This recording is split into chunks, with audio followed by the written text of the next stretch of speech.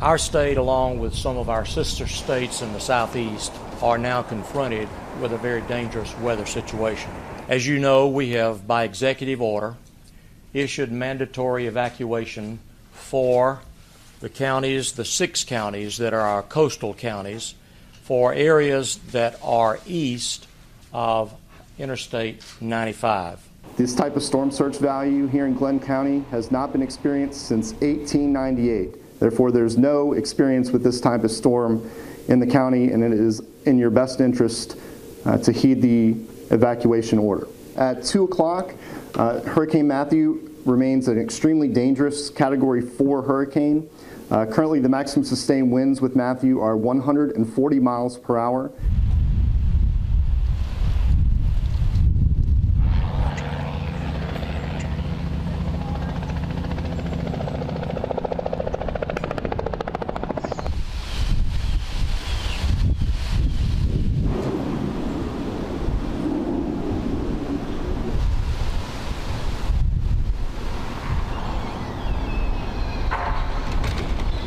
They're hard to come by. You cannot find sandbags right now.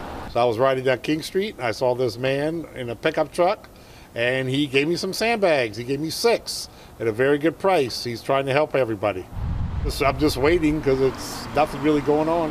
Everyone left town. Everything's boarded up, and I'm just waiting.